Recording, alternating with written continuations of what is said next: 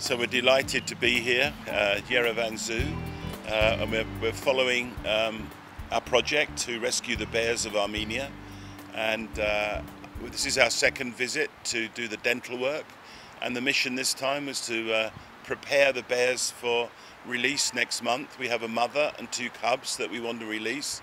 So we were able to do a complete inspection uh, of, of uh, the mother's teeth and the bear's, uh, the cub's teeth and I'm delighted to say they were in very good condition, which was a surprise.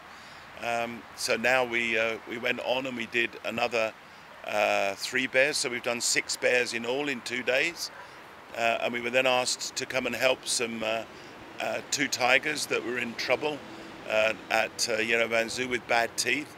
And I'm delighted to say that we have an expert, probably one of the best experts in the UK, to deal with um, zoo animals and with our expert uh, veterinary dentists we'll be able to look at the teeth today and do any procedures that are required uh, to make the animals perfectly fit again.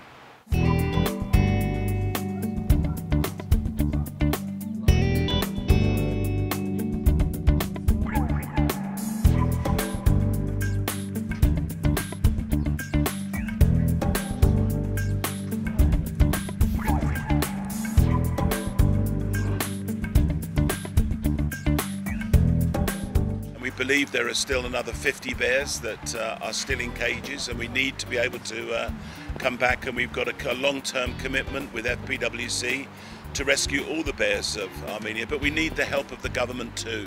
You know we're very happy to do the work and we're very happy to set up a centre but uh, we really do need the help of the government to give long-term support to that centre once the job is done.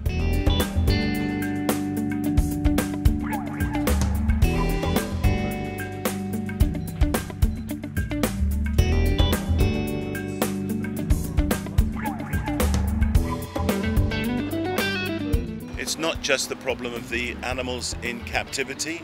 Uh, we also have a problem with hunting and a problem with uh, human-bear conflict. And we've seen that with lots of bears being caught in snares and obviously mother bears shot and cubs uh, uh being orphaned. So it's a big problem which we need to look at holistically. Yeah, there's a good opportunity for us to solve this problem once and for all. Quite good teeth, huh? Ah, that's, that's cool. the one. Nice position. So that's better. That's nice position and nice. That's nice. Beautiful. Yeah, fine. Happy with that. Let's do the other side then.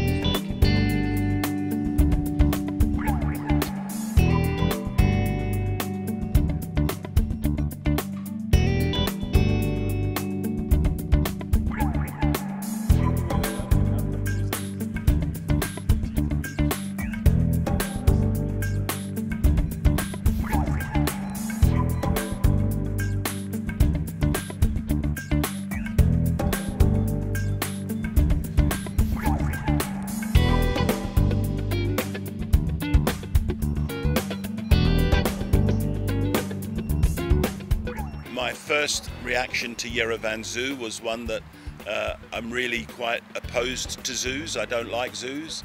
Uh, but in my opinion, Yerevan Zoo is one of the better zoos in the world. Um, we know that the director, uh, Ruben, is working very hard for the welfare of the animals, and I, I respect that.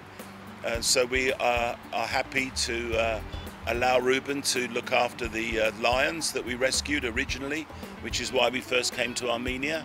Uh, and then once we'd finished with the lions, they're now in the zoo and very, very happy. Uh, so we decided to continue uh, to rescue all the bears. Um, so, you know, we're very happy to give um, any help that we can on an expert basis to help any animal suffering. So, uh, yeah, we're, we're uh, you know, we're very encouraged that the zoo is going on the right path and uh, will become one of the best zoos in the world, I hope.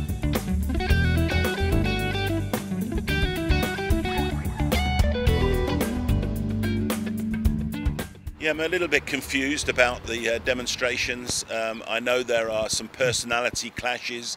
One of the people I know, um, you know, in the demonstrations, um, and I think that uh, you know they're being a little bit misguided. We're very happy with the investments that we've made. We've spent some serious money, well over 250,000 euros now. Uh, and we're very happy that money's been spent in a very constructive way. I've been here several times myself to check.